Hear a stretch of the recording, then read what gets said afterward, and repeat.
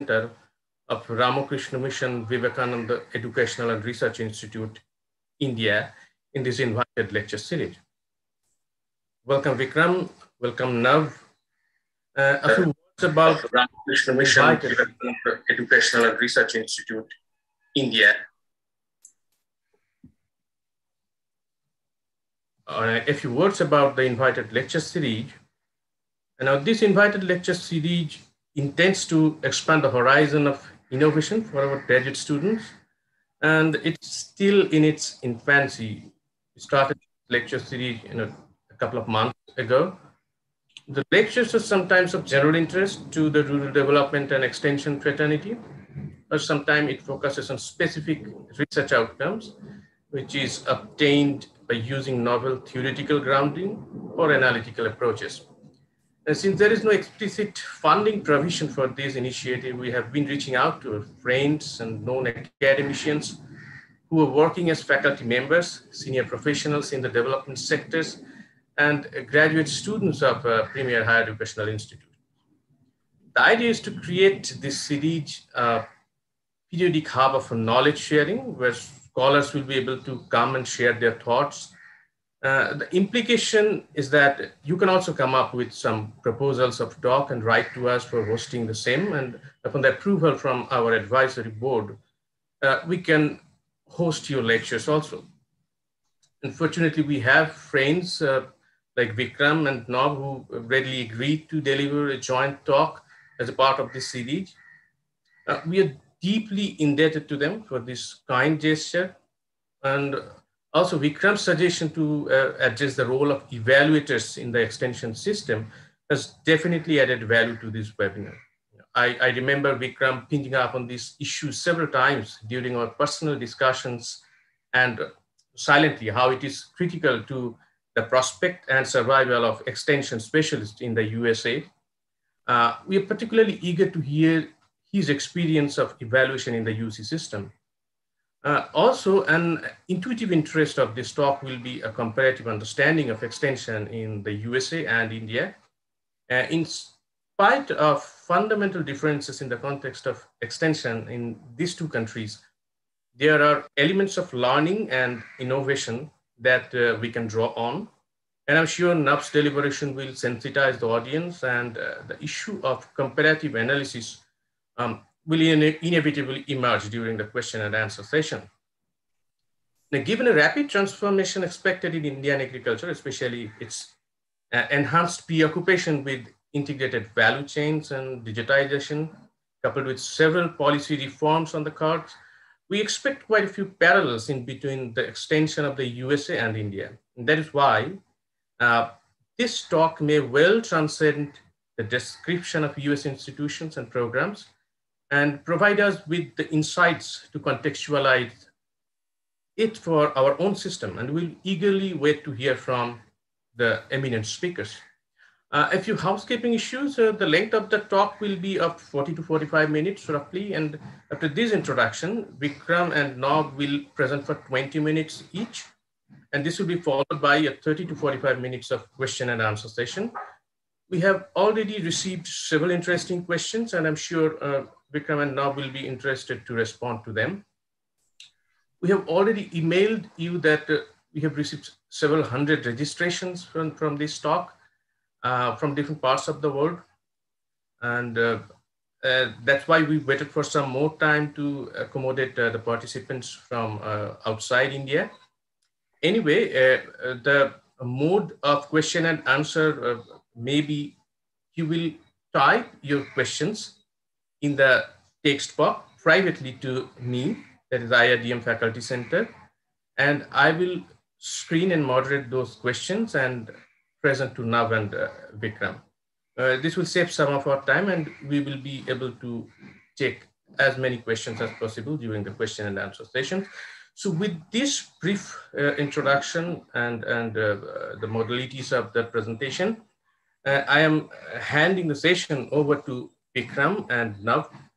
Uh, so Bikram, it's over to you. You may start your presentation now.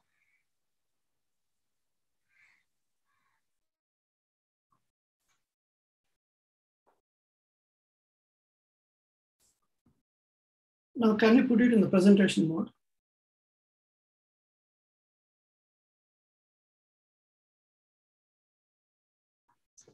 Okay.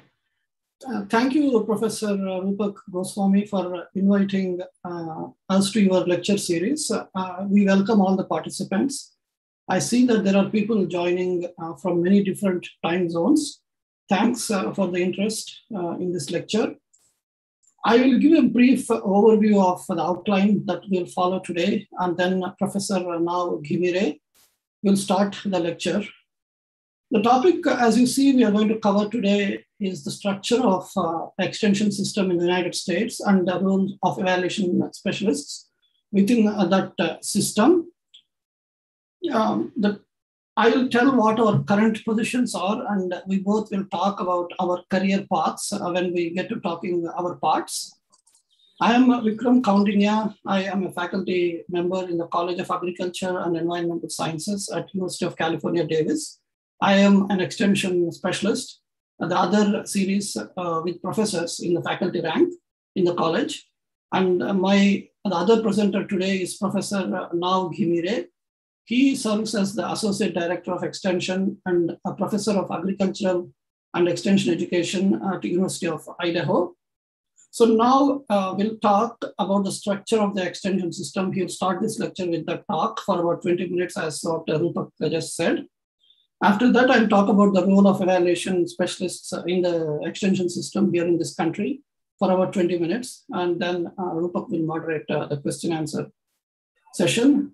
So if we don't get to answering all the questions in the time that we have been allocated today, uh, you're always uh, very welcome to email either me or Nav, and we'll be sure to respond uh, to your questions. So the primary outcome we are expecting from today's lecture is for you all to gain a basic understanding of uh, the extension system in the United States and how uh, people, evaluation specialists like me, are positioned in the system, what we do.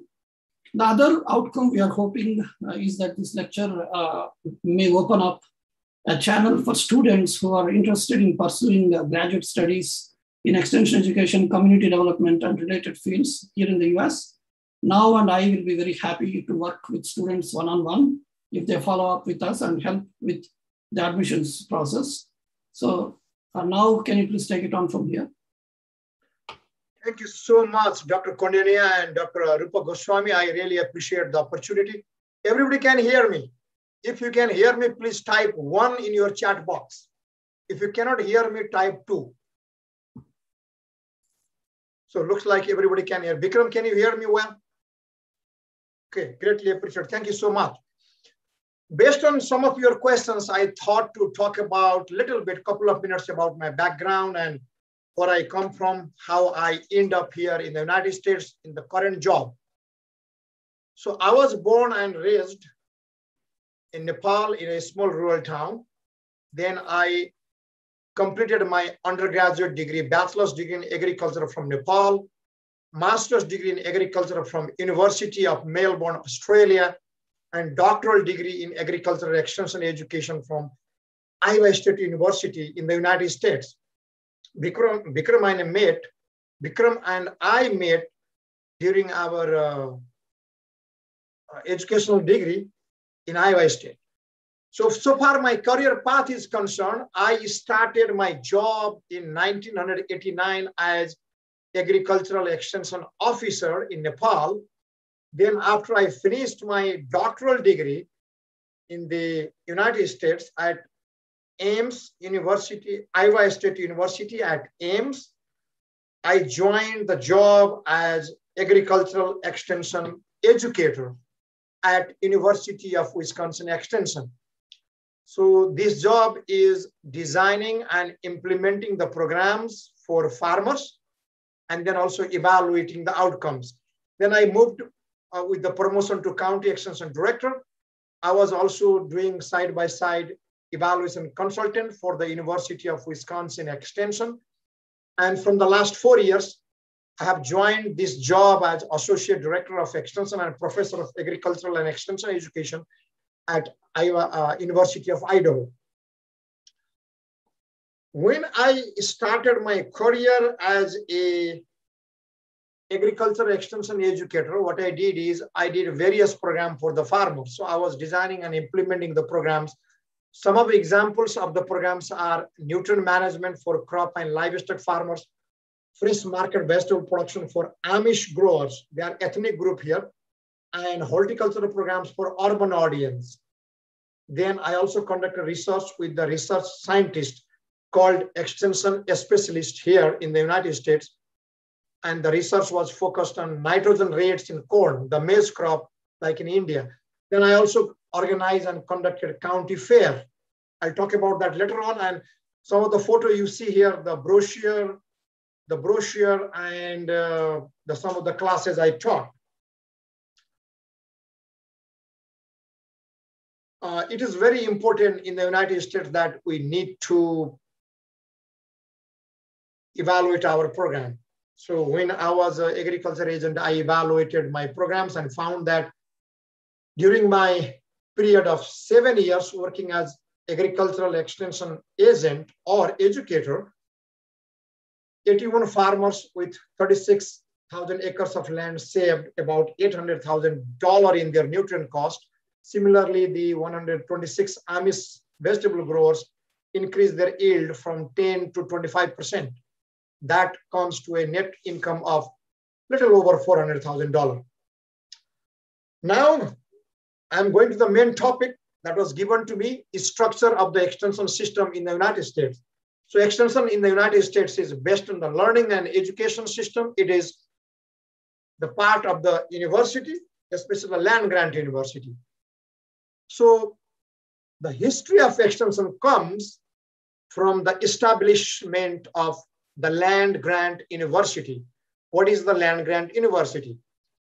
In 1862, there was a member of parliament in the central government that is called senator from Vermont, the state of Vermont. His name was Justin Smith Morrill. He filed a motion in front of the Congress, upper house and lower house, telling that we need to have a college for farmers, especially agricultural college, to help the people of the United States. And he also requested that college should be in each state. Then Abraham Lincoln, the president, donated 30,000 acres of government land to create the land grant university. And then the senator was responsible to sell some part of the land and also raise some money to make the buildings. So with that, the 1862 land grant system was established. With the establishment of 1862, after 30 years, people realized that it is basically more focused on people with the white collar and then African American, black people in this country raised the question that we need to have our one land grant university. Government granted that, and that is called 1890 land grant system. And after 100 years, in 1994, the Native American Indians in the United States, they said we need a land grant university for us.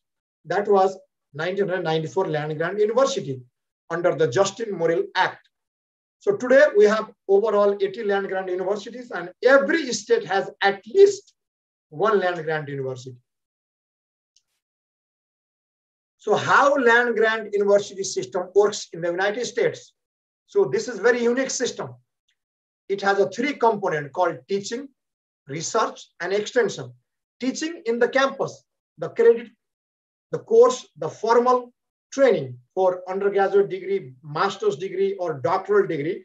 So that is a student enroll at the university, and then they get, they complete certain credit hours, certain requirements, and they get their degree. And research is conducted in the research centers that is usually located in the rural areas and primary focus of the research is agriculture. And then there is an extension. Extension is located in every county that is the smallest political unit of the state. And it is like district in India or Nepal or Africa or Paris in France. So uh, the university is extended to the people at the grassroots level at the county. That is why it is called University Extension System. I'll talk about that a little more. But what is the core concept of the land grant university system in the United States? Basically, to conduct the research. Primary focus is conducting the research and then applying those research-based knowledge in practice with extension to the people, to the farmers and other individuals in the communities. Then after they will apply, they will try to understand what works, what doesn't work. That will come back to the research. Again, the problem, the issue they faced while applying, the problem, the issue they faced while applying research. So based on extensions, issues, and research conducted, those two knowledge are combined together to teach the student so that when a student will be ready to go to the world of work, you will have a very good knowledge of what are the issues of the community and uh, what are the solutions needed. Now, the extension system in United States is called the cooperative extension system.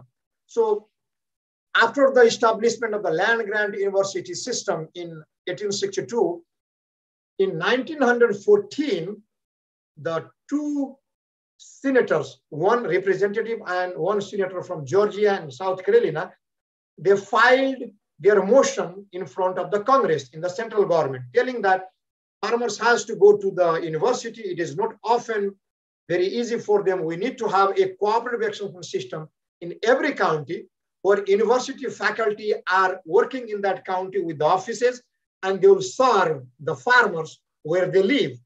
So basically it started with helping the farmers.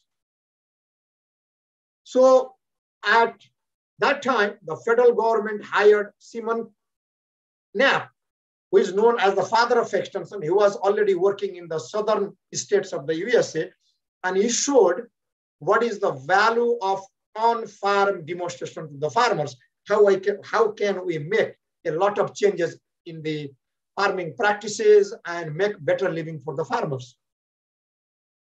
So now the question is, what is extension service overall? So teaching in the campus is a formal training courses. However, extension is non-formal education. You, there is no need for you have to have any education, any credit. You can join the program based on your interest.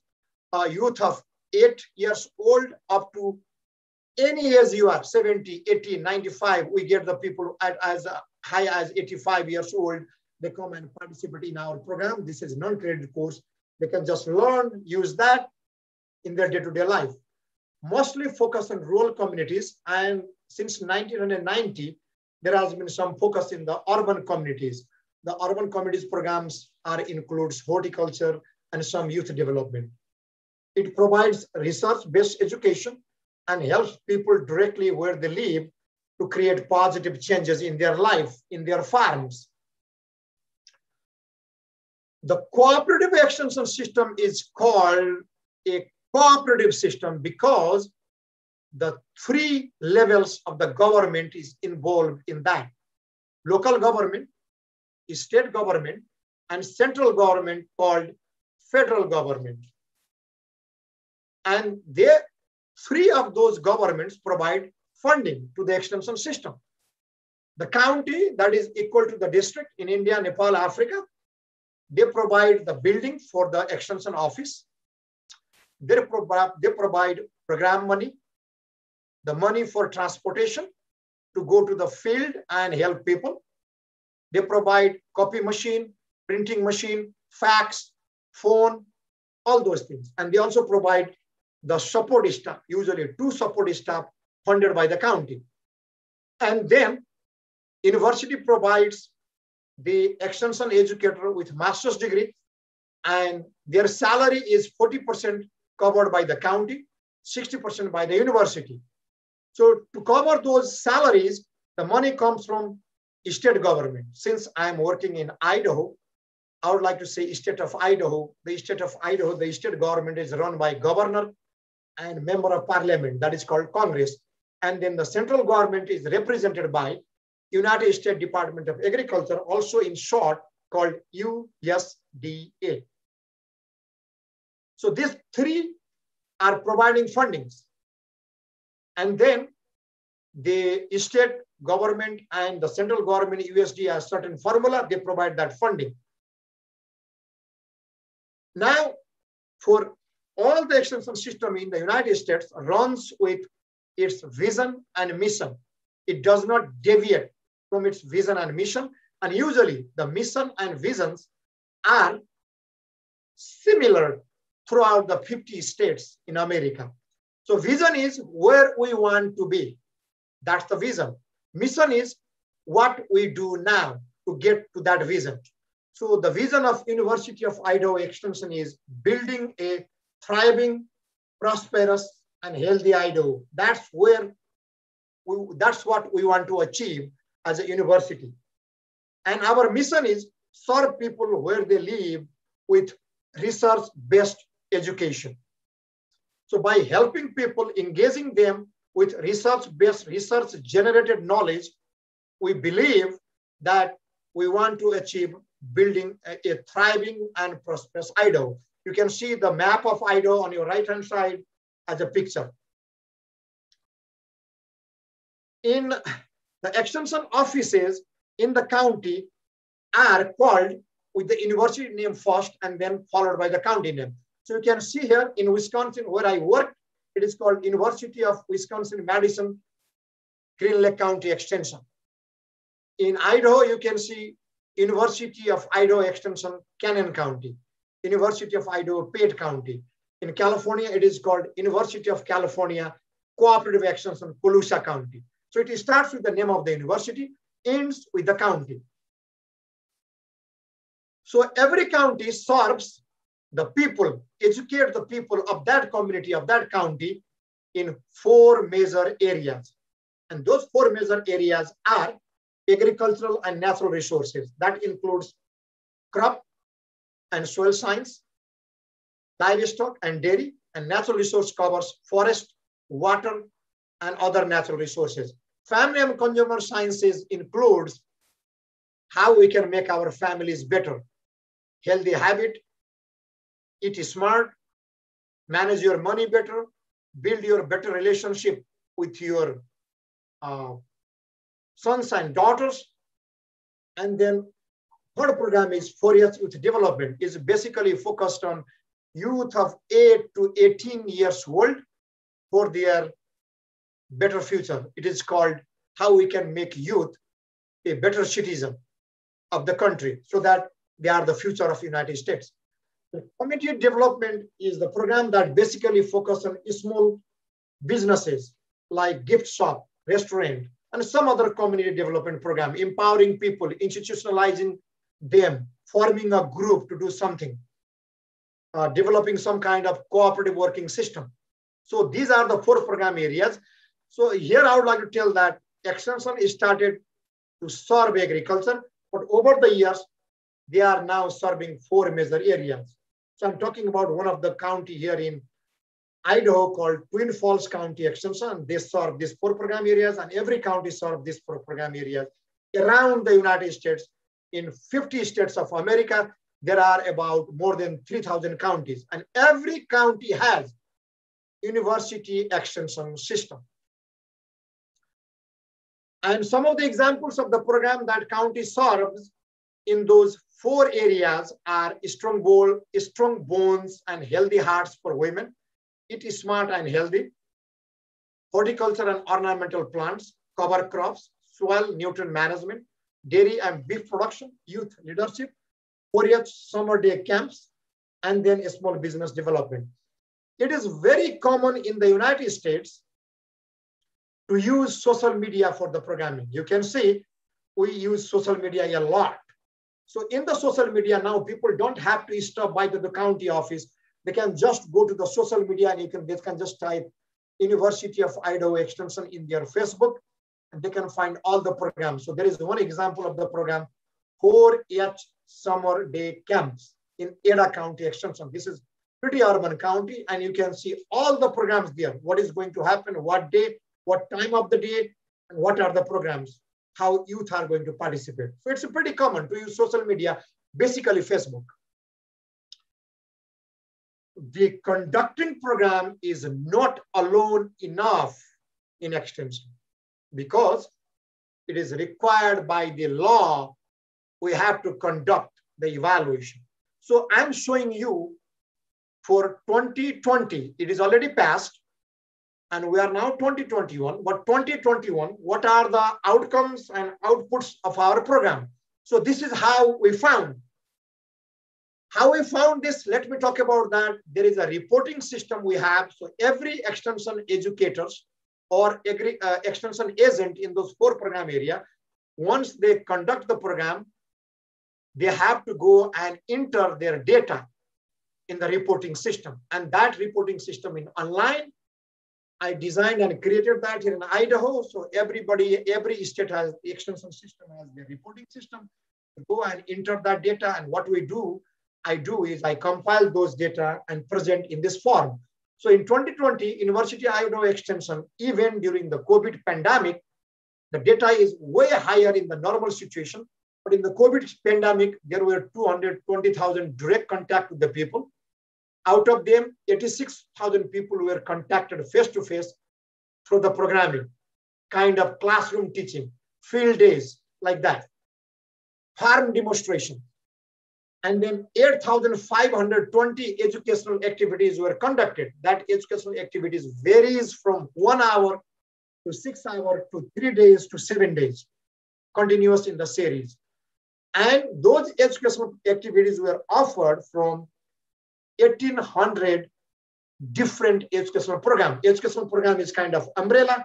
And under that educational program, we offer several educational activities that is repeated throughout the state and in the same county it is repeated. And then we offer more than 14,000 hours of educational program delivery to the classroom or field. These are the outputs. Now in the outcomes, what did we found that out of 220,000 participants, we, real, we found that 40% of the participants reported increase in their knowledge as a part of their program participation. 7% reported increase in skills and 33% reported change in their behavior. That means they adopted the practices, skills they learned in their farm, in their life. And we asked them, how much money you saved or increased the yield? So we compiled that.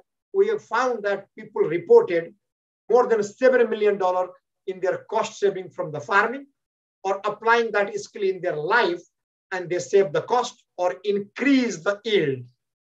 If you talk about family living, they used better diet, they reduced going to the doctors. Those kind of things we calculate. So what is the research extension linkage in the United States? That was some of the questions that I found in the list of the questions. So as I mentioned in the beginning, there are research and extension centers in the rural areas. In Idaho, there are 12 research and extension centers. Fairly same amount of research centers are in all the 50 states extension system. So in that research center, we have an extension specialist. They have a doctorate degree in subject matter like agronomy, plant science, plant pathology, entomology, soil science, water efficiency management, ag engineering. Those are the things. And usually they have a 60% research appointment and 40% extension appointment. Usually that is the ratio. And they work directly with the extension educators. What they do is they conduct the need assessment with the extension educators and extension educators invite them in their county and they teach the courses with the extension educators, such as beef production, how to manage soil, soil fertility, nutrient management, those classes. 4H youth development programs are very important in, in the United States. It is when it comes to the name of the youth development programs, everybody's ears is standing. They are paying attention. So every year, they have a certain protocol to follow, and then they will show their animals, beef, beef steers, dairy cows, lamb or sheep, and swine, that is called the pig. They show those animals and there is a judge from outside. The judge will judge their animals and give them award with the first, second, third, and fourth position. So they at the end of the fair, there is a one program called livestock auction. So people from all over the county, from another county, they come and they bid in that auction with that animals. And they usually pay to encourage the youth more price than in the market. So when a youth participate in eight year old, he can participate until 18 year old. And then in that 12 years period, usually they make money. They use that money for their college tuition and they usually very encouraged to go to the university where they reside. It means they go to their one state's university. So this is very important program. And now I told you that we required by the law, we have to have the evaluation conducted. So in 1993, federal government passed a act called Government's Performance Result Act. By that act, it is required by all the institutions who receive federal funding, they have to have evaluation conducted, document the program impact, and especially focused on extension, the Agricultural Research, Extension, and Education Reauthorization Act of 1998 that mandates all the extension educators and extension system in the United States, they must show the accountability of their program to stakeholders. So federal government, state government, and the county government is asking us all the time, we provided you the dollar. We want quantification of that dollar in terms of how you help the people and what people, people gained out of that program that we paid you for our dollars. And that dollars come from the taxpayers' money. So it is very important to become accountable. That's all I have to present today. And I would like to pass it to Bikram Koundinya to present his uh, evaluation. Thank you. Vikram, back to you.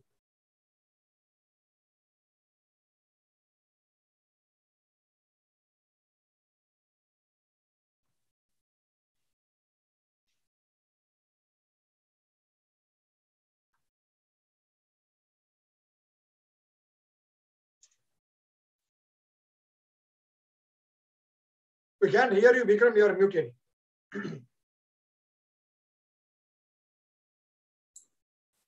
Are you, are you able to hear me now? Yes, that's fine. You're good. Okay. Th thank you Nav for uh, the uh, brief introduction you gave to the extension system. It acts as a, a good segue for me to talk about uh, the role of evaluation specialists in the US extension system that Nav just explained.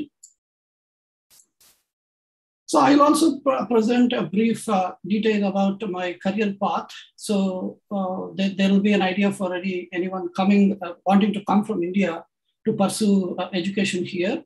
And also uh, they can see how I uh, landed in the evaluation specialist role. I have a bachelor's degree in agriculture from Acharya N. G. Ranga Agriculture University in Andhra Pradesh state of India. And I did a master's degree there uh, in the same university uh, in agricultural extension education. And after that, uh, I went to Iowa State University to get my PhD degree in agricultural extension education. And as Nav said, that's where we met as students under the same major professor. And we have been uh, collaborating since then. After uh, graduating with a PhD degree, I did a couple of uh, postdocs at Iowa State University and also University of uh, Connecticut. Uh, in these uh, two positions, I was helping the extension leadership and also the economic development leadership, the extension director and the vice president for economic development, uh, to help them come up with uh, their monitoring and evaluation metrics and also write uh, the evaluation plans for the grant proposals.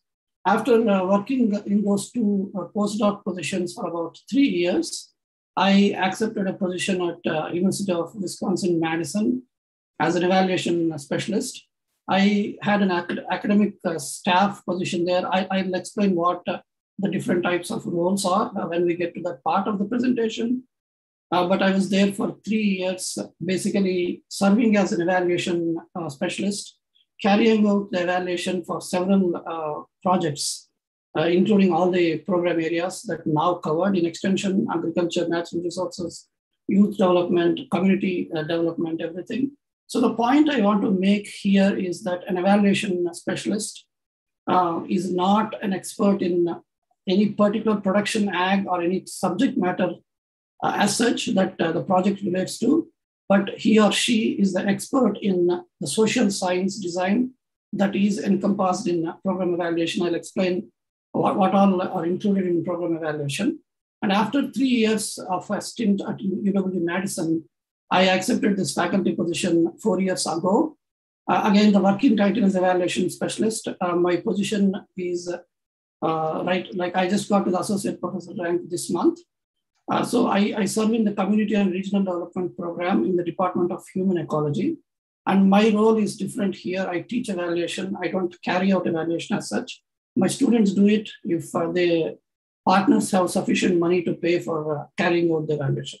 So that will become more clear when I give some examples. So this is overall my career path uh, so far.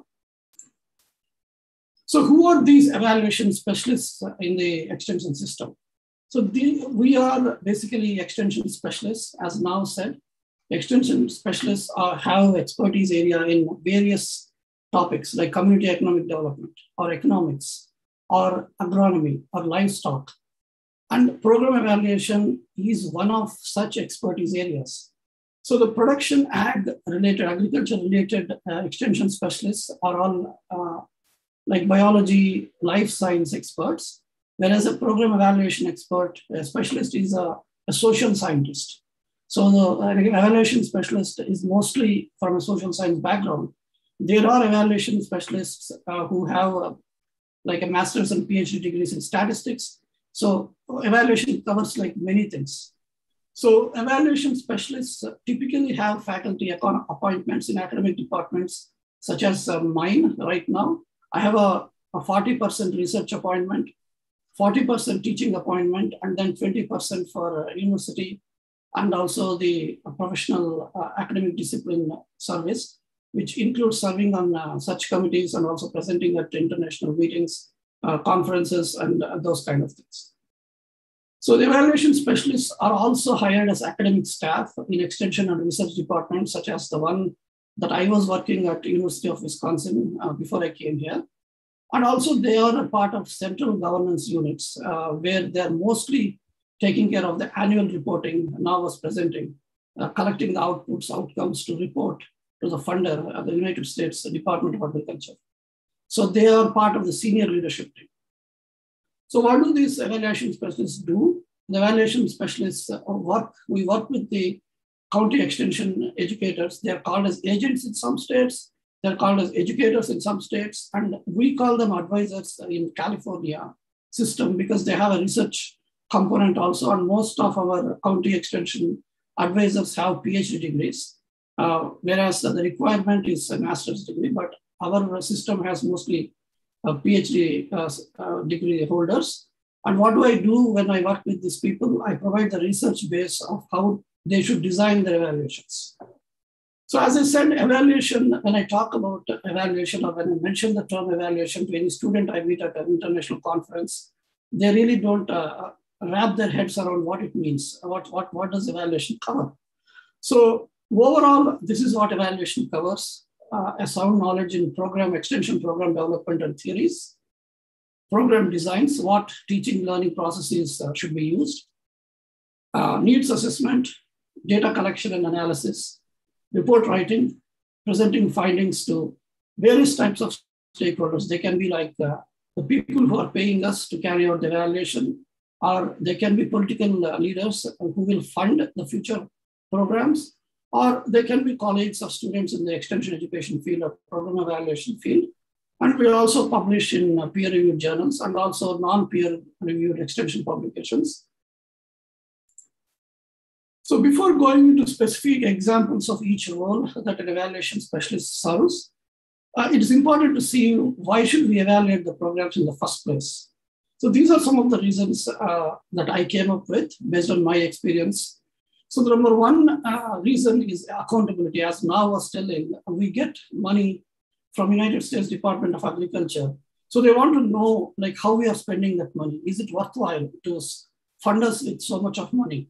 So the extension educators have to evaluate their programs and uh, we have to submit annual reports to USDA to see uh, what uh, they are giving the money for is getting is making an impact in the lives of the people that we serve through our education programs and our research-based extension. So the second reason why we should evaluate programs is program development. It helps in uh, program development. Like it's common extension literature that needs assessment is the first step in program planning. So needs assessment is a part of uh, evaluation. It, it, falls in the umbrella of evaluation. So the next the other reason why we should evaluate our programs is to improve our programs. Like we are offering the programs, and then it is important to know whether or not we are meeting the target so that any changes can be made as needed. So that's a, a very important uh, reason, and we call it as formative evaluation. And then the next one is to measure the outcomes. When we are offering the programs, every educator goes with a science uh, base, and then there are some expected outcomes that have to happen. Like, or, or do they want to increase the knowledge of the people, or do they want people to adopt some behavior? That has to be measured. So those are called outcomes. Uh, for example, like when I when I started this talk uh, today, I said that one of the outcomes we are uh, hoping will happen is that you all will gain a basic understanding of uh, what the extension system is and what does what do evaluators do in the system. So that outcome, how will we know if that happened? We have to ask you people like whether the lecture was good or not, right? So the same way, we go back to the uh, clientele which who we are serving, and then ask them like to, through different data collection methods, like it can be interviews, it can be surveys, it can be field observation, anything like there are a lot of uh, different methods. And then the other reason is impact assessment. So impact is the big picture thing, which can't happen in one or two years. So a program has to be running for multiple years, like five to 10 years, in order to get to impact. When we talk about impact, uh, what we mean is uh, the big picture societal or environmental type of changes that are happening for the general public as a whole, not necessarily only uh, to the clientele that we are serving. And then the all the more important reason, another reason is self-learning, right? It's always good to know what we are doing, if it's working or not. And also the self-learning keep us motivated to do better. And then the final reason uh, that I think uh, is very important is contribution to research. So if we evaluate programs, we have good amount of data uh, to conduct research and publish, and that will strengthen the education programs in the future. So these are some of the competencies that will be needed if someone wants to get uh, into the role of an evaluation specialist in the extension system here in the United States and also anywhere in the world if you want to pursue a career in evaluation. So we should have a, a good uh, competency level in program theories, like program development theories. We have so many in extension. And then all the latest evaluation models, uh, we need to be uh, well versed with uh, those. Then strong social science research background, uh, including methodology, survey development, data analysis and interpretation. Again, the data analysis can be quantitative data or it can be qualitative data. So some, some evaluation specialists are focused only on qualitative data. Some evaluation specialists are focused on only quantitative data. And some use both the methods. So I am a mixed methods uh, uh, researcher. I do I conduct both qualitative methods and quantitative methods. And I also teach uh, both quantitative data analysis and qualitative data analysis. And if a person is predominantly quantitative evaluator, then a strong background in statistics will be really helpful. Then project management skills are uh, really important, especially if you want to be an evaluation practitioner and not a faculty member. If you want to carry out evaluations, project management is really important. Then data visualization skills are necessary because uh, we are some of our stakeholders are really busy people, big politicians. They don't have time to read uh, big reports. So one pagers info, infographics, really cool visuals that catches their attention uh, will be really important uh, skill. And I don't have that skill set to the extent uh, uh, that makes it like a really good quality visual. So I rely on my students uh, who are like really super smart. So they help me with the data visualization. And then interpersonal effectiveness, uh, like easily approachable, uh, willing to accept your mistakes, that kind of interpersonal effectiveness. And then political maneuvering is uh, important, especially if you are working with politicians to attract funding. And then communication skills, both verbal and non-verbal, are important uh, in any field, not necessarily uh, in, in evaluation. So I'll, I'll present examples from my work on what the different roles evaluation specialists can serve in the extension system. The number one role is annual reporting. Nav already uh, spoke uh, uh, something about it. And then related to annual reporting is writing uh, program impact statements uh, catered towards different stakeholders. And then evaluation capacity building slash extension teaching. Then conducting research, evaluators can be researchers, uh, predominantly researchers also.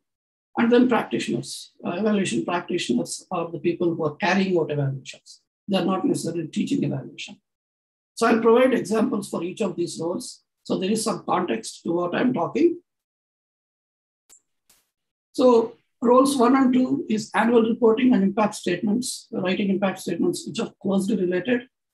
So as I said, uh, we collect outputs. Outputs mean the products, what, what are uh, being developed how many people are being reached, how many products are coming out, like brochures or, or pamphlets or anything like that. And then uh, what outcomes we are achieving, like uh, has there been a change in knowledge or has there been change in skill sets or people adopting what we are teaching? Those kind of things are outcomes.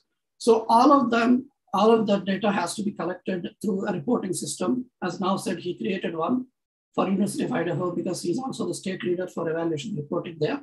But I don't do that part. My part is uh, a, a, professor type of uh, job within the department where I basically teach evaluation and conduct research on evaluation. And then I have uh, colleagues in the program planning and evaluation uh, office, the central government. They are part of senior leadership. They take care of this. So Nav Sarus uh, Nav has like multiple hats. He also teaches evaluation, conducts research, and also he is the in charge for reporting. So he has a bigger uh, portfolio compared to me. So this is one example of an impact statement, how we write.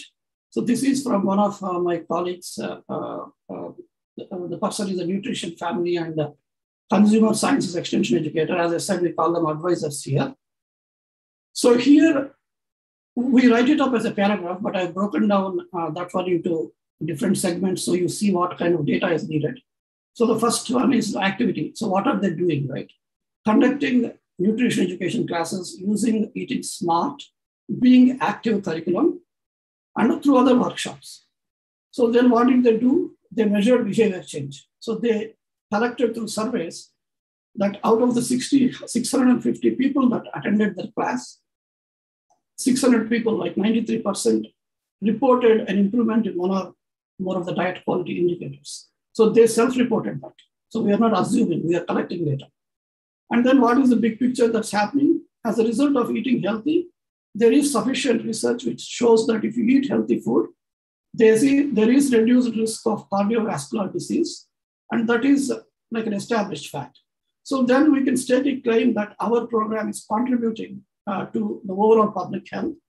So we are never going to say that extension is the only uh, resource or only channel that is causing the change, but we just take our part of the claim that we are also contributing. So that has to be very clear.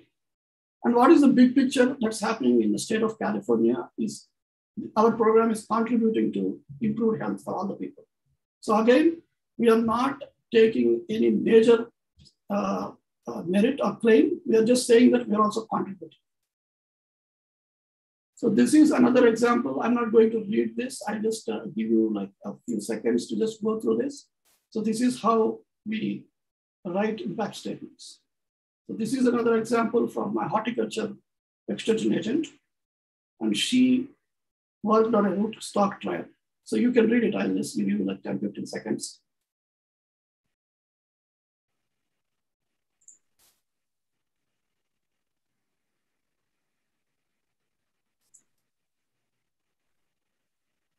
Okay, I'll, I'll move to the next slide. So the third role, as I said, is evaluation teaching, the capacity building. Why do we call it as capacity building? Is my because my students are my colleagues, the extension educators, who are equally qualified in terms of uh, educational attainment. They have a master's degree or they have a, a PhD. So I offer training programs for them. So these are the topics that I cover here in California, and most of the states have very similar uh, topics that they teach, but there are some adaptations that need to be made based on the needs in each state. So I teach planning and designing evaluations. I teach needs assessments, how to conduct needs assessments. And then we teach uh, the third one, I do not lead it, my colleagues do it. So defining what our clientele are. And then I teach methods for measuring outcomes, survey design and development, sampling methods, data analysis, both quantitative and qualitative. I teach it up to the intermediate level. So I'm not like an advanced uh, statistics guy, but I can uh, teach up to intermediate level. And then uh, writing impact statements. So I showed you a couple of examples of impact statements. So continuing with the evaluation capacity building, we also do it through regional level collaboration. We, we, we have a team called as Western Regional Extension Evaluation Network. Idaho is also a part of that. California is also a part of that. So we are developing uh, training videos that all the states in the Western region can use based on whatever their need is. Then we are also Nav and I are also part of uh, national level research that is working to identify evaluation competencies that are needed by our county extension colleagues in order to evaluate the programs. So it is a multi-state uh, effort. And then uh, I offer guest lectures to our undergraduate and graduate students in uh, many different departments in the College of Agriculture and Environmental Sciences, and also in sociology department. I, I have offered in nutrition department and sociology department. I offer guest lectures on evaluation planning and uh, designs. So these are some of uh, the pictures of uh, my programs. So the first two pictures are uh, at two different locations when I was uh, teaching data analysis. And the picture below is uh, I was teaching about outcomes, uh, outcome indicators, inputs, outputs, that kind of a training. And then coming to the other role that evaluation specialists serve is conducting research. I'll share what my research is. So my research is mainly focused on innovative evaluation methods and individual evaluation studies. Like we carry out evaluation studies and then we publish from that. So if you can see the first paper here, which was published last year with uh, my co-authors from Wisconsin. So this happened in my previous job. So we came up with an innovative method uh, called group mapping to collect data from uh, little kids. So this mapping exercise was both a fun activity for them to draw what they are learning and also like a data collection method for us. And the one on right, again, this was for kids here in California. We developed a method called as PISA surveys. Uh, we collaborated with uh, researchers, uh, like both these people like Maggie and Waiting are my county colleagues. Uh, Waiting has since moved to Stanford University, but she was at uh, University of California when we conducted this research. So if anyone is interested in reading all of these papers, they're available in my website, uh, web page, and also if you can reach out to me, I'll, I'll send you, I'll share the full papers. And then these are from evaluation studies. The one on the left is uh, uh, we published our evaluation design uh, from a climate change project that was led by Purdue University. And on the right is a, a last year project. Uh, like wildfires and other disasters are very common in California. So we conducted a needs assessment to know to what extent our extension, uh, county extension people are prepared and what do they need to tackle wildfires and other types of disasters. So there also you can see that uh, I was the first author, uh, meaning that I, I led the study. It's not necessarily about an evaluation, but it's about a needs assessment. So an evaluator can be covering several different areas. That's what I'm trying to highlight. And another one where I published is related to statistics, methods, and individual projects. So this is a book chapter that I contributed to. Uh, it was predominantly quantitative data because uh, I was able to write it because I've taken statistics courses in the PhD program. And then the next two are from the individual evaluation studies. These were at Wisconsin uh, these two uh, co-presenters uh, joined our team as our students. So they were our students and now they became our colleagues. They both are evaluation specialists now. So these are from two different projects. So, and we are sharing this at uh, American Evaluation Association Conference. So that's an international conference. And then the final role is evaluation practice. As I said, we are hired as evaluation specialists to carry out evaluation. There we don't do any teaching and we are not required to do research, but we can if we want to. So these are some uh, like some projects that, I worked as an evaluation practitioner, and all of these were at Wisconsin. Right now, I don't serve as a practitioner. If there is sufficient money to pay for my students, they carry out uh, for me, and I hire students for each project. So the first one example is a climate change project led by Purdue. The second one was for a natural resource and conservation service where they developed a wetland identification tool and we evaluated the project. And then the other one was for Wisconsin Department of Natural Resources. And the last two are healthy soils courses were developed and we evaluated those courses. And then phosphorus compliance workshops. I, I selected those two examples because we have a predominantly agriculture audience. So there are other many other projects that I've evaluated, like environmental justice, uh, racism, so many so many other projects. And as, as I said, I don't need as an evaluation specialist to be the subject matter that the, that the project is uh, tackling. I need to be good at the social science and evaluation related expertise. And whatever context is needed about the topic, the subject matter, I can sit with the PIs, the principal investigators, and learn to the extent that I need. So they are not hiring me for my specific subject matter expertise in climate, climate change or wetlands. They are hiring me for my evaluation expertise. So this is what uh, we wanted to cover today. So this is the contact information of both of us. We have given our uh, email IDs and also web pages and my phone number there is my WhatsApp number also. So if someone wants to uh, talk, uh, we can set up an appointment and talk. Uh, and we'll be happy to follow up with any of these questions. So thank you, and I'll hand it over to Rupak to run the question answer session. And many thanks, Nav and Vikram. It was fascinating listening to you. Um, know, we have quite a few interesting questions uh, that we received during the registration process itself, and we have received uh, some questions during the session. Uh, so I will start asking the questions. So The modalities, maybe you know, whoever is comfortable uh, answering the question, you may pick it up of your own. So since this was a students workshop, uh, students uh, webinar primarily, so I will start with a question that we have received from many students, and you know, graduate students, even the students who have completed their PhDs. Uh, and that is, what are the opportunities of extension specialists uh, in the USA in three different contexts? First, as a PhD scholar, second, as a postdoctoral fellow, and third, job opportunities and the job application process. And we have received these questions from uh, Indian and uh, Pakistani students and scholars. Thank you, Rupak. I'll take that question. Uh, I was supposed to mention a little bit about that during my presentation, but let's uh, take that question right now. In the county level extension educator job, that is called agriculture agent family living agent or educator in California that is called advisor. Family living advisor, farm advisor, that's the name. But basically that's the extension officer, agriculture extension officer, similar role in here in the United States, like in India or in Nepal.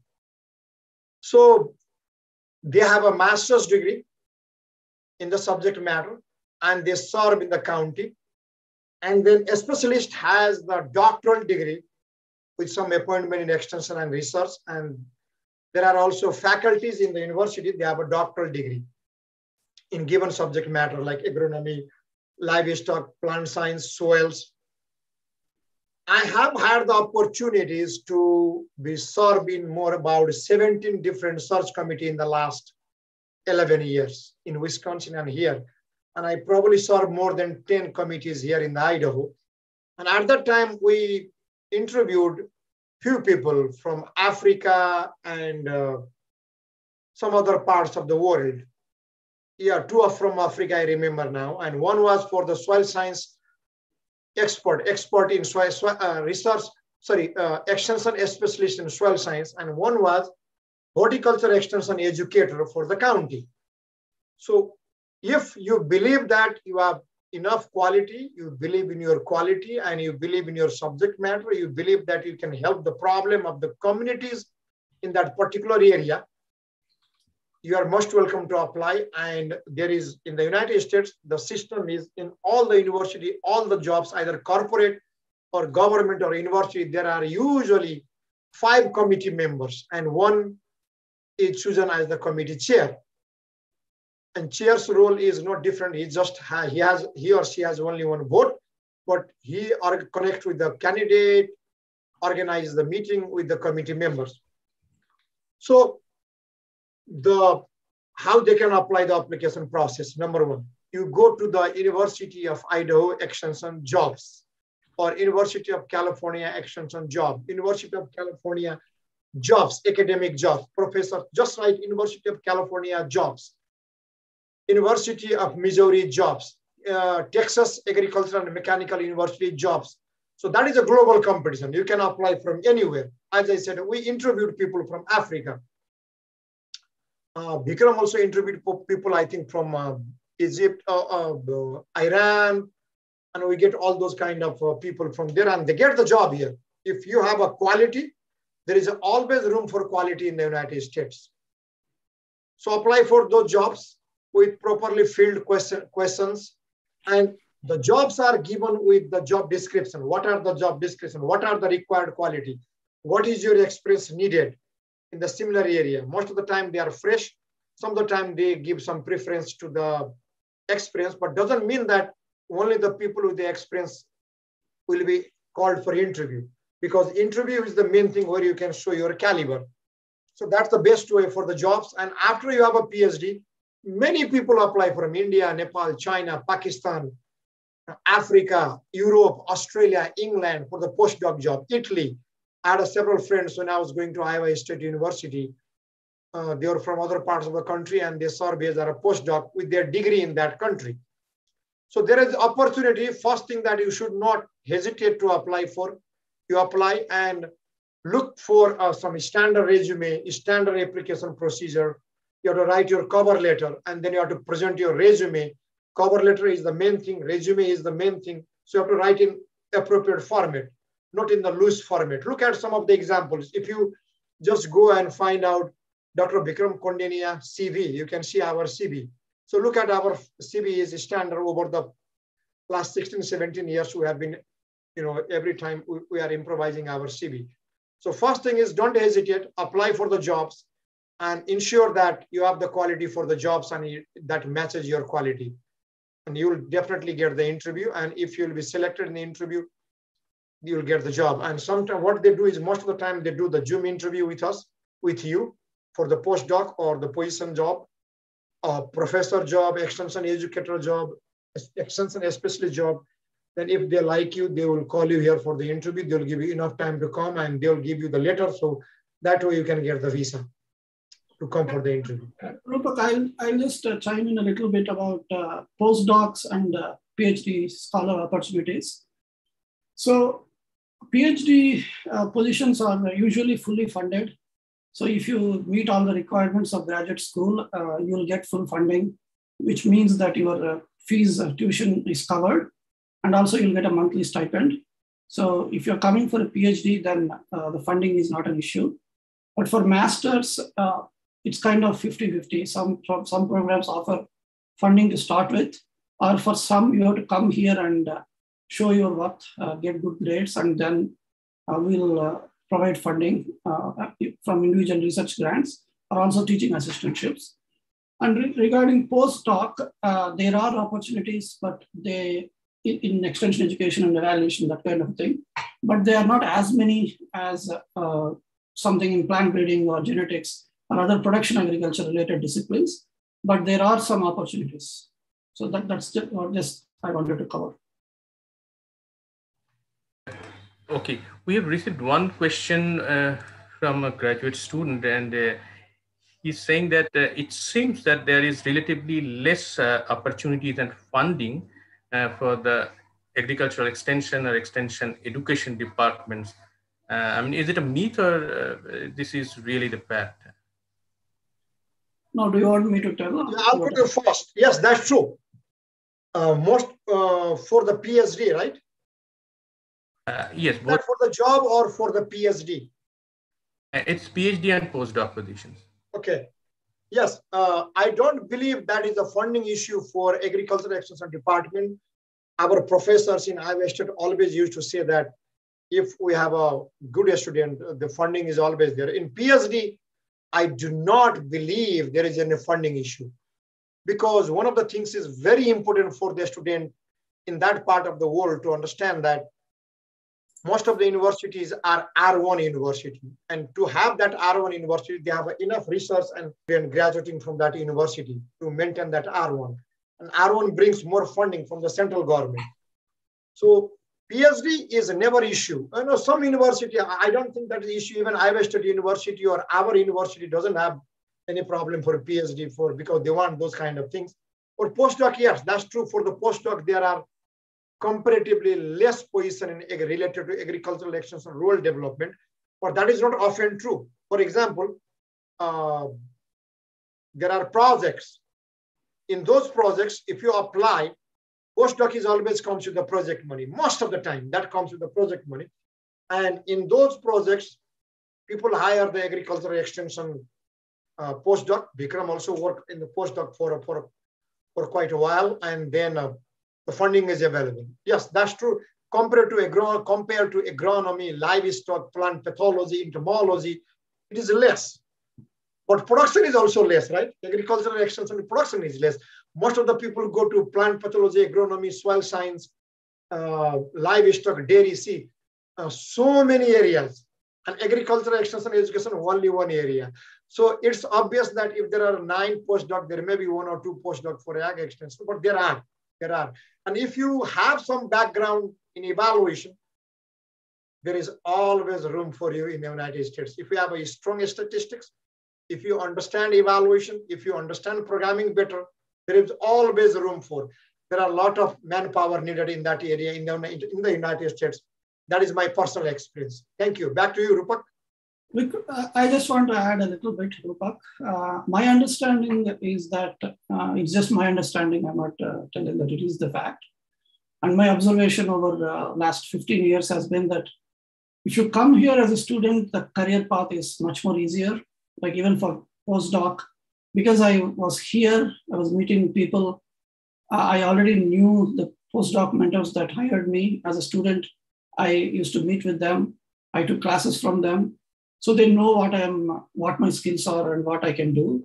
Uh, so it's easy for them to invest in me compared to someone coming from outside, uh, where it's a longer uh, process.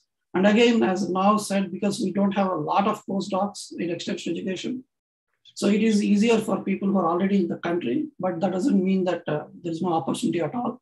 For example, like right now, I have written three, uh, submitted three grant proposals where I have written a postdoc position in all those three grant proposals.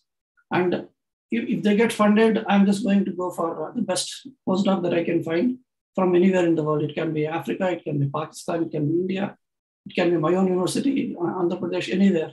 Whoever I think uh, is the best, I will hire that person. Yeah. Uh, thank you, Vikram. It, is a very small question. As one of our students he has asked that, what are the uh, softwares which are mostly used in uh, our discipline so statistical data analysis and data visualization. I mean, it's. Yeah. So I can tell the ones that I and my students use, and I also tell some of the things that are generally used. Now can also chime in. So I, for my quantitative data analysis, I mostly use SPSS. And for qualitative data analysis, I use MAXQDA uh, and NVivo. Uh, but uh, my students use R for quantitative. My students use uh, Stata and uh, one of the students that actually recently graduated, uh, she was at a much higher level than me in statistics. So it's a mutual learning process. Uh, I learned uh, quite a bit from her. So like everyone is not an expert in everything. So we don't need to be good at everything. So these are the five software that we use. And then data visualization, as I said, it's not my, uh, I wouldn't consider it my strong uh, area. So my students use PowerPoint, my students use Adobe, like they are really good, like uh, all these young kids, they're really good at uh, those kind of things. So I just depend on them. Uh, uh, Rupak, there are one question from Deep Banerjee. Can you read that, please? Yes. Uh, uh, actually, the last question was asked by Deep.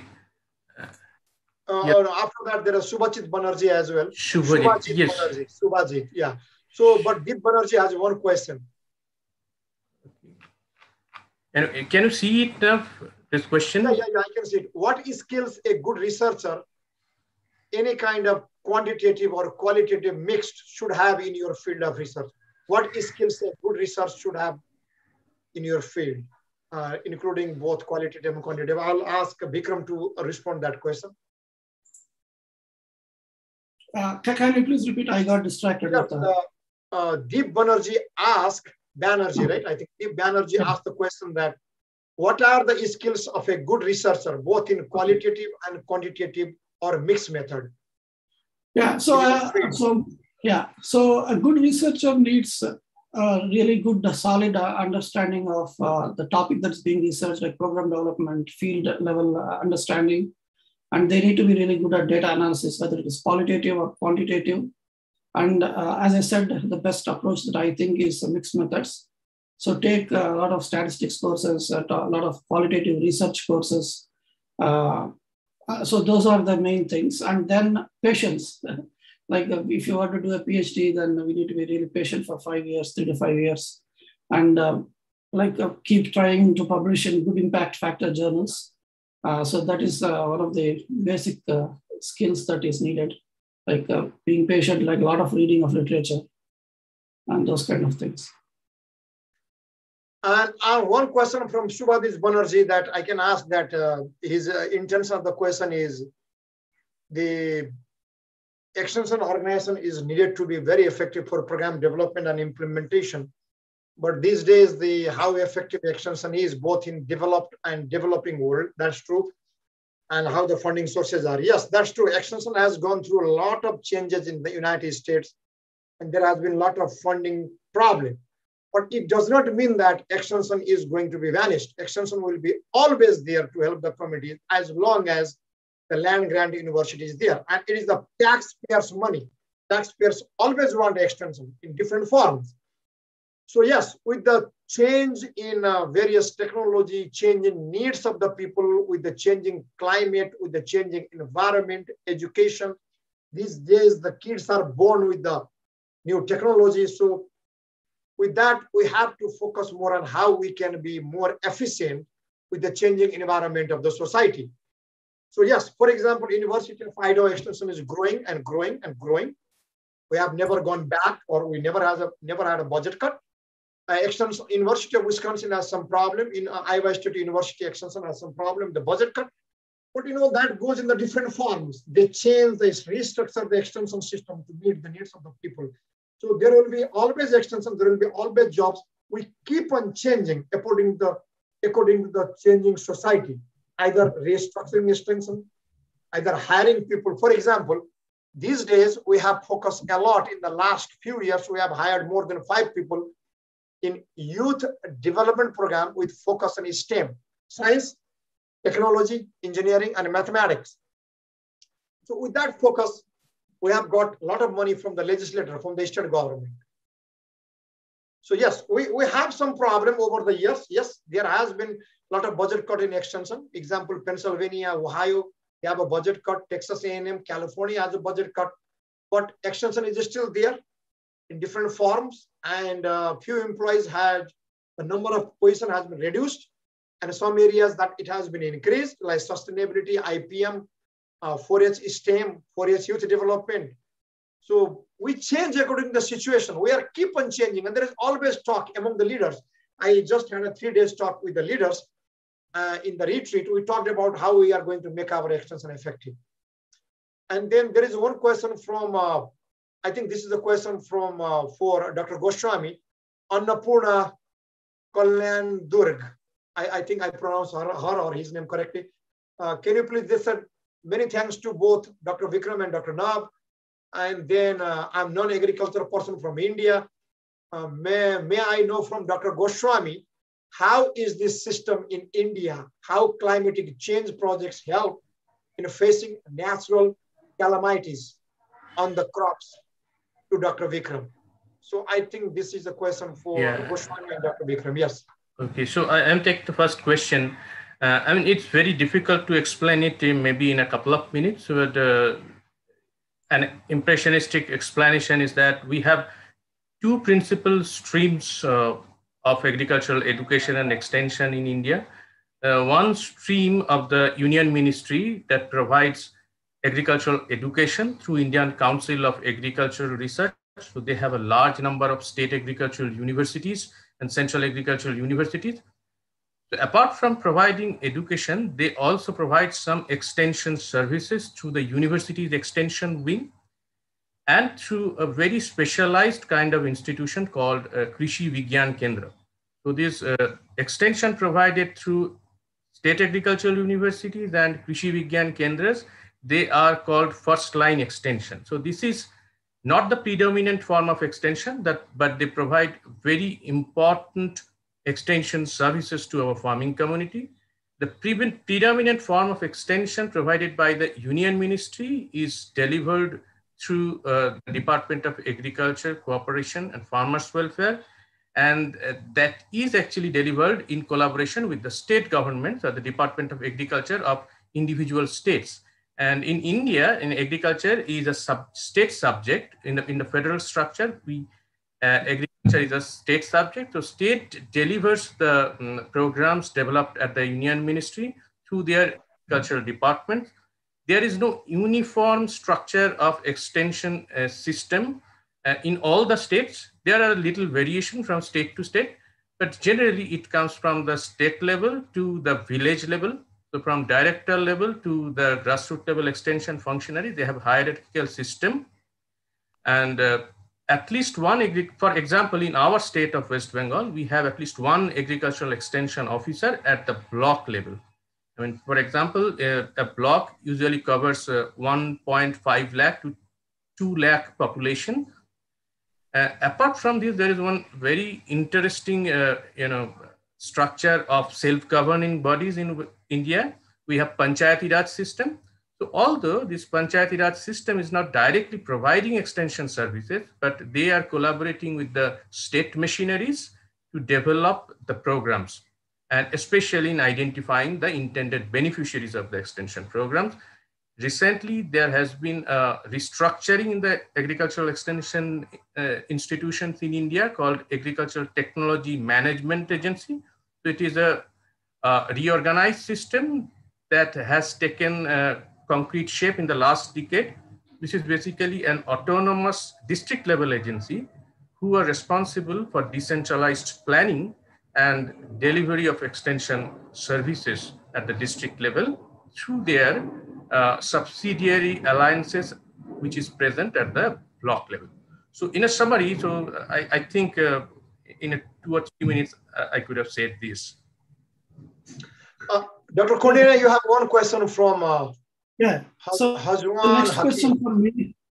No, no, there is another question. Uh, how climate climatic change projects help in facing natural calamities? It's from the same person, Annapurna Kalandar. Before I answer this question, I have to tell that uh, she's my aunt who is attending to support me. So she is a physics uh, professor uh, stationed at CGCRI, Kolkata. So coming to the question, uh, so we develop different types of uh, decision support tools to help the farmers uh, uh, use those tools on when to plant something or like what kind of climatic conditions are suitable. So they can use those online decision support tools to make any decisions related to their production questions. And also the other study that I presented, conducting a needs assessment, gives us the, an understanding uh, to what extent our people are already ready to offer, offer education about uh, climate change, right? Like wildlife or like wildfires or any other disasters. So evaluation contributes significantly uh, in addressing any climate change related education programming that happens in the country.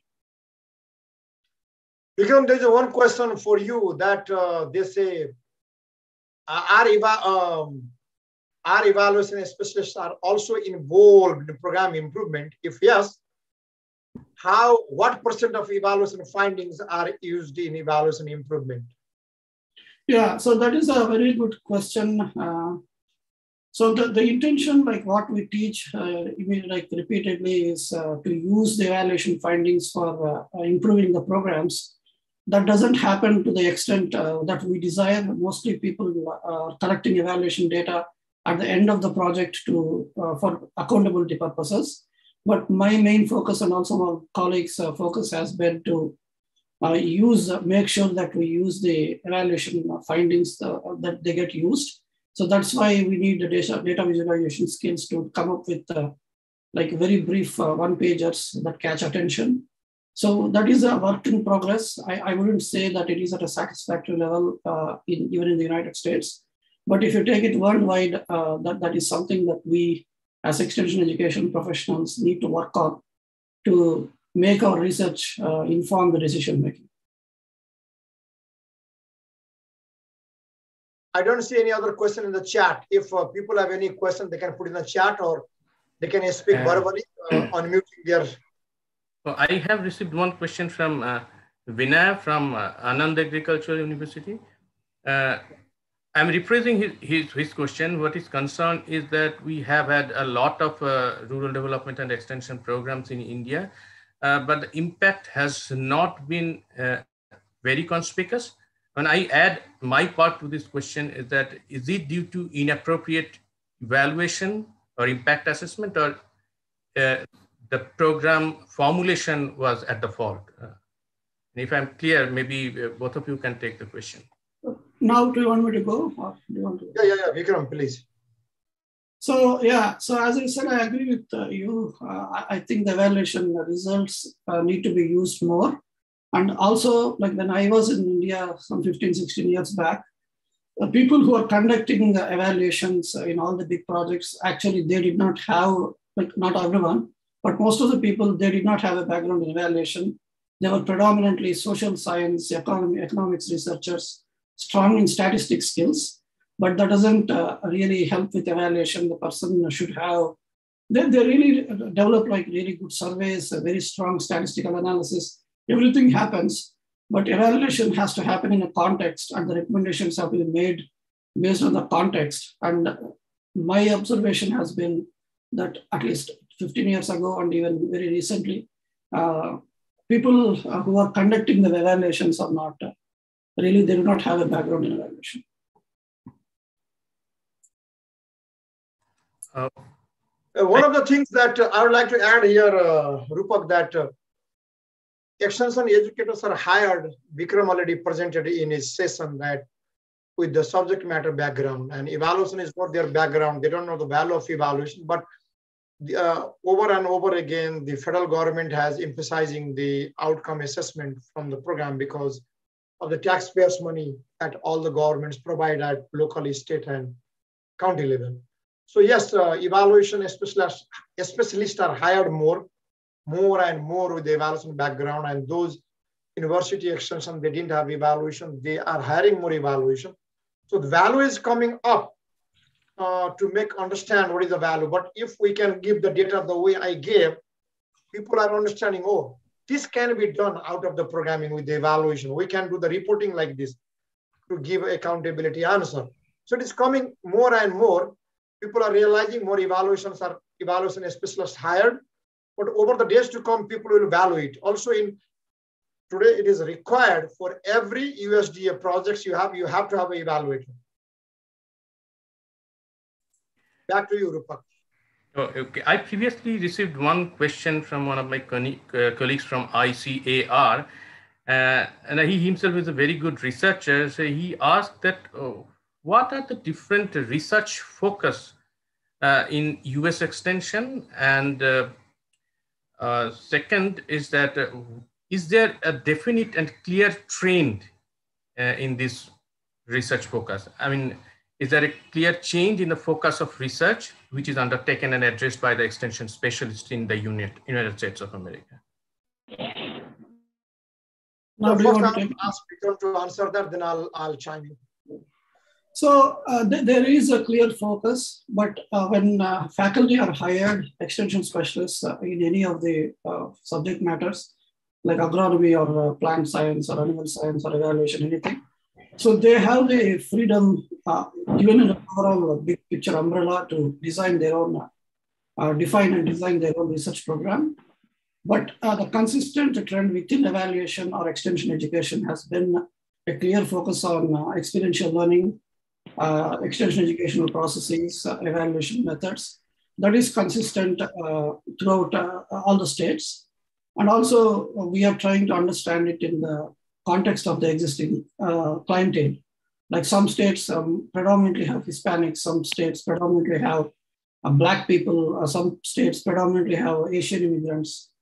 So in the context of uh, those uh, conditions, we are trying to control these variables using the regression models and trying to come up with uh, uh, like our own findings of what works best in a particular context. And again, coming to the production agriculture related uh, extension education research, a robust needs assessment is undertaken at the beginning when the, a person joins the job. He or she is expected to uh, indicate how they arrived at the needs we have to conduct a needs assessment and report it in our, our first year performance evaluation. Why am I focusing on those topics? It's, it's not just like uh, I, I know this and I'm teaching this. I have to show why I'm like when I presented the list of uh, teaching, right, and also my research, I have to show them why I have done, why I'm doing that. How I am serving the people in California? And that, that can be different from what Nav does in Idaho. Like his research topics given the overall umbrella of extension education, can be different. Also, one of the things that I would like to say here, it is very well research focused because in the United States, in the land grant system, especially for the College of Agriculture, the role of commodity association is very important. That is often we call industry. The industry is very important because throughout the 50 states, we have a big commodity association. So I'm part of some of the commodity association. I attend their meetings.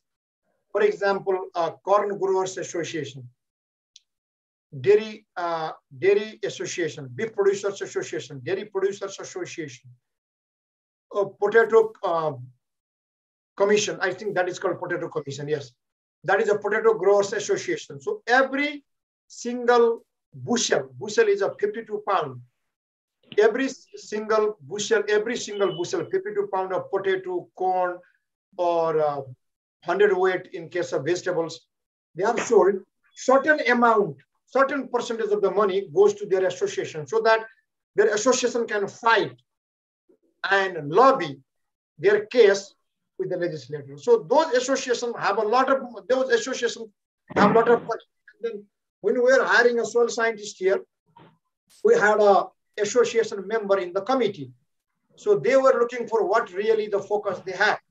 So they, they always coordinate and work with College of Agriculture to conduct the research in the area that their producers need because it is represented by the producers. And there is always a good educational pressure for the research with the college and they provide the money. That money is used for postdoc to conduct the research and then uh, also, every research centers have their own focus. Some of them have a general focus, some of them have a special focus. And so it is very connected with the association, community association, community groups. So we have to focus on community groups' views, and they have a very big role. And their say is highly valued by the College of Agriculture. They have a direct contact with the College of Agriculture dean, even with the president. Thank you. Back to you, Rupak. Uh, uh, so we received another question from uh, Shubhajit. I mean, he's still a student.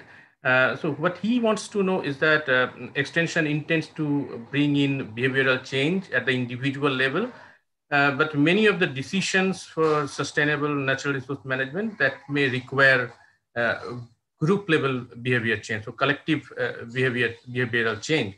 So what are the extension tools at its disposal, especially in the context of US extension that can be used to mobilize group for sustainable uh, management of natural resources. Okay, I give one best example here. We have a forestry where we need a lot of, we have an individual forest in Idaho, in the northern Idaho, and that is called panhandle forestry. That is uh, individual people have the forestry, acres of 100 acres of forestry. So we include that. Then we have a water users group association. Then we involve those groups Water Users Association, we have a continuous meeting with them. We design and teach program for them. So that groups decides, makes the decision about what they want to do about the water efficiency in this particular area and how they want to organize that uh, related to the issues of the water. So associations are involved, groups are involved. That is a self-formed volunteer groups. Uh, the forestry is a self-formed group. Water Users Association is kind of formal groups because they have been there for a while. So those groups are always pressurizing the university. So we work with them closely and they implement the decisions. That's how it works. At the individual level, in the in the healthy living or uh, saving money, we work with the individual people in the community. For the farmers, we work with the individual farmers in the community. They come and uh, participate in our teaching in the group. For example, 50, 60, 20 farmers, they come. We have a beef school, we have a cereal school, we have a potato school, we have a into um, IR, Idaho Rangeland Symposium. So in that, people come to our meeting. We organize that meeting. We put in the Facebook. We send the letters to the individual farmers. We have that list developed over the years. 700, 800 farmers, we have a list. In the county, we have a couple of hundred list of the farmers. They come to the meeting and then they got they get our brochure and they come. And then they ask individual questions and they also invite us individually. Our research specialists go individually. They come and visit the farms. We have a, a field day. Field day every year we organize. That is organized in the research center. So in a field day, usually 400 people participate, 700,000 people participate. And then they look at what is going in the research. Our specialists present and people come in the tractor. There is a trailer. In that trailer, seats are assigned and tractor moves slowly and then we sit in the tractor, they present and they see. Also, extension educator go and attend those. When I was extension educator, I was attending field day. So that's how we learn. And we have that thing we learn and we also conduct on-farm research. We are, that is called farm cooperators. So we work with, we find farm cooperators. We are, I'm recently involved in the evaluation of a soil science program, soil fertility program, and nutrient management program with one of the extension specialists. And she told me that she had uh, uh, 36 people interested in her program and she conducted in the 36 farms for research. So farmers are directly seeing that research and we are, once we conduct research individually, they give us their farm, they plow their farm with their tractor, and then we plant seeds and everything for the research. They provide irrigation, and then research specialists and uh, extension educators, extension specialists go there frequently and then we organize field day a couple of times a year. That's what all those 36 farmers and other interested farmer comes and see what is happening in the field right away uh, in the in the crops. And we also present them the uh, soil science lab result of the soils. So that's how they see it. It's pretty visible, pretty organized, pretty connected, pretty engaged. That's what we work for. That's what we are here for the farmers, community, individual businesses. And uh, there is always pressure from them to do best for the uh, communities. And then uh, county commissioners, that is called county commissioner, district level politicians like in India, they continuously visit. We have to meet with them every month as an extension office and present our progress. We have to present our progress continuously. And then we have an extension advisory committee, sorry, extension advisory board. We meet every year. So in that board, they also ask a question. We have to tell them what is happening extension, what we are doing. And we ask them for what are the challenges they see in their, in their communities, and we collect those. So there is a continuous connection. And the legislator will ask us question. We have to present, our dean has to present, our extension director has to present, our College of Agriculture dean has to present in front of the Joint uh, Committee for Agriculture and Finance. There are two different committees. We have to present them what we have been doing, why we need the money. So it's a pretty accountable process. Check and balance there. Thank you. Back to you, Dr. Uh, Goswami.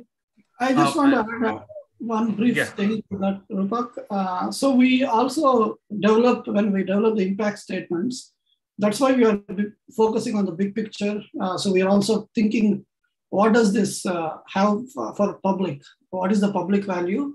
not just uh, the people that extension is serving, that's a private value to the individual, but we also write the public value statements. For example, as I said, if people eat healthy, uh, and reduce the risk of the disease. So it's contributing to the overall health costs of California. So that, that part is also like kept in mind when we are uh, doing the evaluations. Uh, Nav, uh, uh, Kalyan has asked you one question. Uh, if you can Yeah. take it up.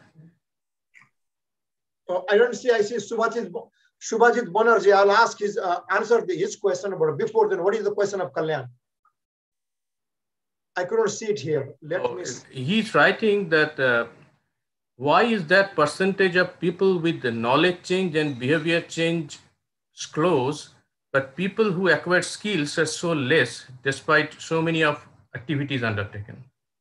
Thank you. That's a very good question. I also realized that as an evaluator that why that skill is less.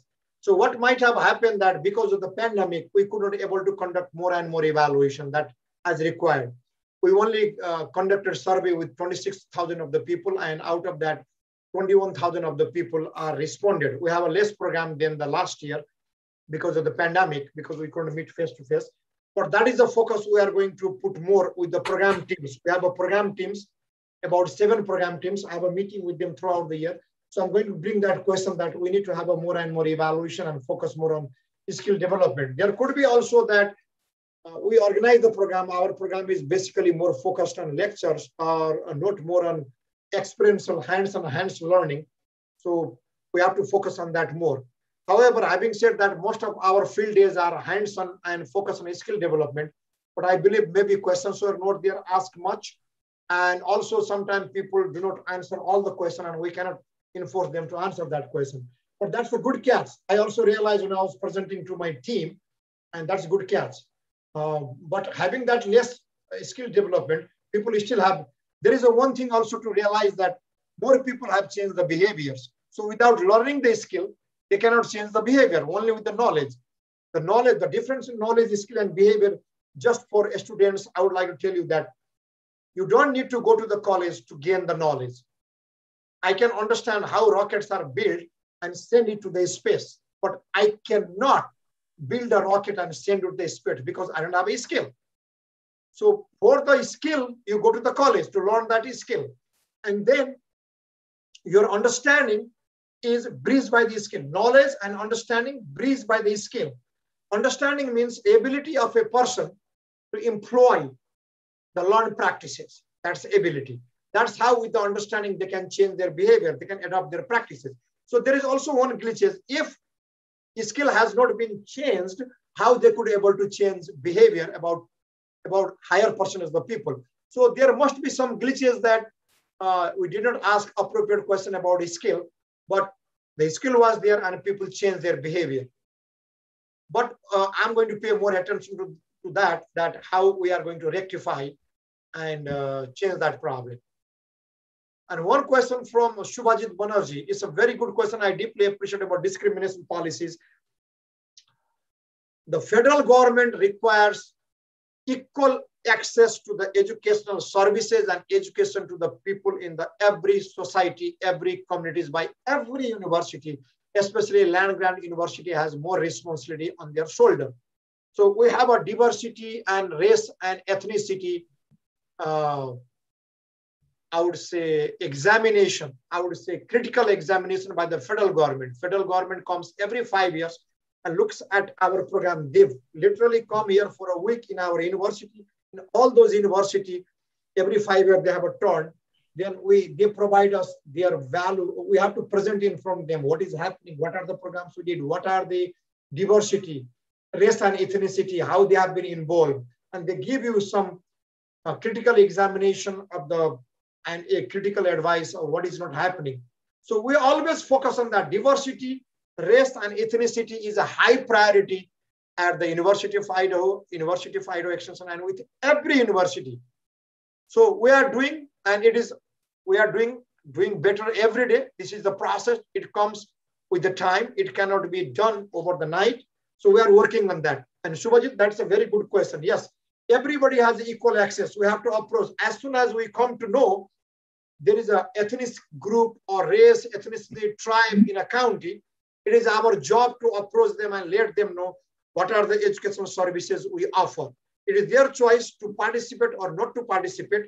But once we come to know there are different race and ethnicity in particular part of the county, if we don't know about that, as an educator, we have to go and visit their community, find their local leaders and tell them what programs we have.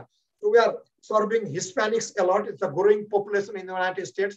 So we are serving a lot of Hispanic. We are serving African Americans. And we are serving all kind of uh, groups. We are serving refugees. Uh, university, uh, sorry, uh, Boise is a very refugee-friendly uh, city, and we are helping a lot of refugee for small farming because they grow their product in the small farm behind their backyard and they sell in the farmers market. Farmers market is uh, here implemented, conducted. They are there, uh, like Hat Bazaar in India, like market in India, in rural towns. So in the in the rural towns and also in the small town and big town like Boise, capital city of uh, Idaho, people come with their farm products and they put their stall for a couple of hours. They come usually early in the morning by seven. They are there until noon and we go and buy from them. So we help those people who are uh, putting their stall in farmers market and they are mostly refugees, mostly African Americans and Hispanics. Back to you, Dr. Goswami. Uh, we have one uh, uh, interesting question from Deep that how US extension systems are promoting women's participation, how gender issue is addressed explicitly. Yes, thank you very much. Like race and ethnicity, in the diversity, we have a race, ethnicity, and gender. Not only that, we have to report gender. So in our reporting for the direct contact, we report race, white, black, uh, Pacific Islander, male, female, youth. How many people we serve? If we do not serve as mandated by the federal government, federal government will give us instruction or they will not fund our program. So we are very serious about that. We are focused not only serving, but hiring our colleagues from the race, ethnicity, diversity, and from the uh, gender. So we are doing that. We are very concerned. That is always a talk day to day. President talks about it, Dean talks about it. Every university, every university, Wisconsin, California, that is a major focus.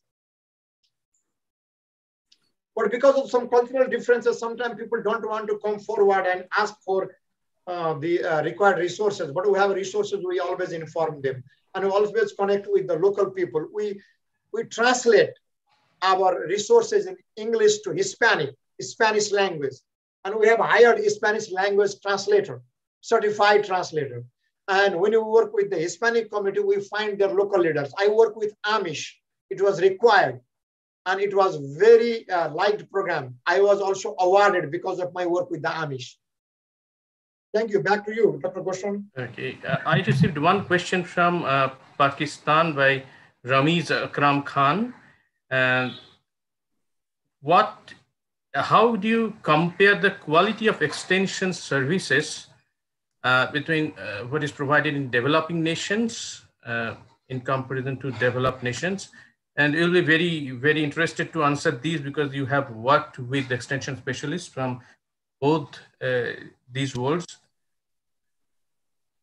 Yes, thank you.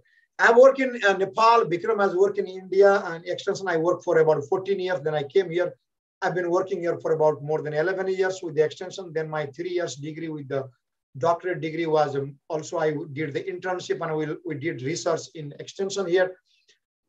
A couple of differences. It is very difficult to compare the extension system because every every extension system has its one strength and its one challenges and every government has its own focus. But I can say two things that in India and Nepal, usually 7% of the population of the country are served by extension. However, in United States, 30% of the population is served by extension. And we always say one word here that extension is the best kept secret, like in India and Nepal also. Many people don't know if there is extension and the extension is their one county. So those people who know about extension, they come and get the service. We approach them also. We send out brochure. We publicize in the Facebook.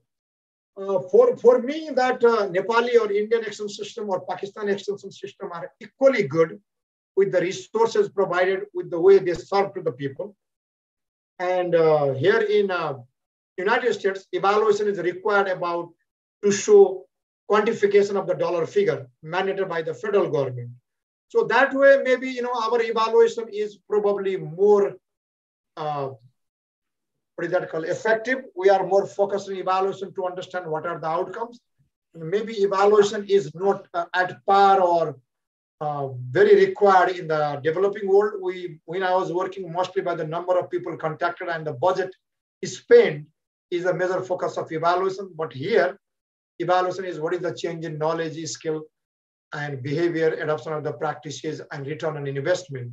So that may be some of the differences. Otherwise, number of people served are less in Nepal and India, more in uh, United States. But one of the things that we have a challenge, it is from the research, I'm not telling that small farmers are not mostly served by extension in, in, in both developed and developing world because most of the time extension goes with the progressive farmer and with the farmers with high uh, amount of acreage. So that should be one more focus about how we are going to serve small farms. With given that we have uh, in Idaho is very effective in small farms. We have a small farms program teams. We have a hired educator to serve the small farms to the people who are in the farmers market. They produce in half acre, one acre, two acre, especially vegetable production, fresh market vegetable production that can be sold immediately in the farmers market. So we have been gaining access on that more and more. But if you talk to me about Wisconsin or Iowa, yes, there are some challenges. Then Vikram can speak his views about his experience in India and California or Wisconsin. Thank you. Back to you, Vikram. So, so I just want to add a couple of things. Uh, as Nav said, uh, each extension system has to be understood in the context in which it operates. The main differences I have found uh, are the university is associated with extension here. Uh, whereas in India, it's the responsibility of the department and the Ministry of Agriculture. So my understanding is that uh, that research linkage is better here uh, the extension people have better access to research, whereas uh, that may be lacking in, uh, I can at least talk about India because the, that's where I spent uh, a chunk of my life. Uh, so the, the linkage between the university scientists and uh, like someone like agriculture officers or the ADS, that doesn't happen that much, I think, in India. And again, um, this evaluation component is not really huge in India so it is being, it was not uh, like significant even 20 years ago here, also in this country. But now they're requiring, the USDA is mandating that you need an evaluation specialist in each state and also on all the grant proposals. So that I think uh, is the difference. And the other uh, significant difference is that the type of clientele we serve, uh, the illiteracy, the literacy levels are different. Here also there are quite a few people who are uh, still like not that good with technology, but I, I understand that it is more in India, at least. I don't know about other Asian countries. Rupak, there is a one uh, paper we published in 2012, I believe, or a little later. It was it was well received by the people. In we published that for the context of that uh, developing world, India, Nepal, Pakistan, Sri Lanka, Bangladesh.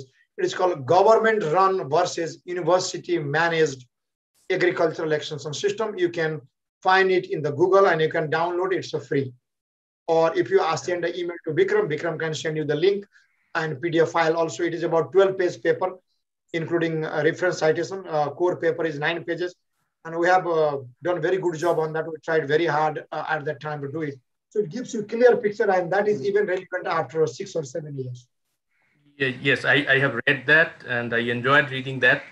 Uh, I have the last question because I have to uh, close it because it's already uh, you know 45 minutes. We have had uh, intense discussions, and the last from my side and maybe from a couple of other registered participants. So when we were students, uh, know, our teachers introduced us to uh, to a very important paper written by Niels Röling back in 1985. And uh, as I can remember, that was presented at the University of Guelph as a part of invited lecture uh, Whether extension. When he was writing that, uh, that extension was increasingly becoming preoccupied with the knowledge system approaches. And then the concepts of AKIS and AIS, you know, came into the picture. So uh, it's my question because you work with some of the top extension specialists in the world. Whither extension, are we standing at a juncture or it's the business as usual that we will continue with, Whither extension? Yeah, I would uh, ask Bikram to uh, firstly speak about that. So, uh, Rupak, I just got distracted, sorry, by the chat that came my way. Can you just uh, repeat in one one brief sentence what the essence of the question? I mean, so, Whither extension, if we ask uh, you two that, uh, is it going to be the same in the next decade or are we standing at a crucial juncture? Okay. So this has been uh, discussed for the last 20, 30 years. So I think extension will exist. It's not going to go because we provide that uh, personal touch, uh, human touch, and also the main stake is that we are unbiased source of information because we don't have any personal stake. We provide uh, the research-based uh, knowledge that uh, is generated at the university. The format in which extension will be offered uh, will definitely change. Uh, there'll be less in, in person because even uh, as a result of this pandemic, people are still not going to be that comfortable coming back to the same model. So the model, how it is delivered will change and what type of skills uh, will be needed to be a successful extension agent, especially at counties and also like a faculty member will change and extension will need to collaborate more and get into more uh, program areas. But I think uh, we are here, uh, we are going to stay. I don't think we'll become irrelevant even in the time of uh, all the information being available on internet. But still, uh, we have the um, cushion of uh, having that unbiased research base. And also, uh, one of the things that I, would like to add that uh, this is the age of technology. For example, drones are used everywhere.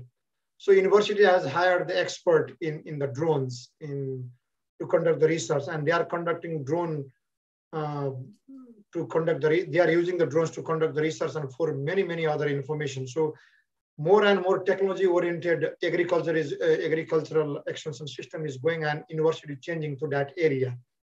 So I, I, just said that extension will be changing as per the required change of the as per ongoing change of the communities. And one i have seen one last question from subhajit that subhajit mentioned that how federal government programs or subsidy or loans are using by the farmers Yes, uh, federal government has one program called Farm Bill. That Farm Bill is providing subsidy to the farmers for their uh, crops. And uh, we have hired a Farm Bill expert here in Idaho and many states extension system, they have a Farm Bill expert. I was also part, part of that Farm Bill teaching with my colleague in Wisconsin. So that Farm Bill has provided a lot of help to the farmers, but provided they should understand that better. So we are teaching as an extension, extension educator how to get the benefits of the farm bill, how to get the benefits of social security.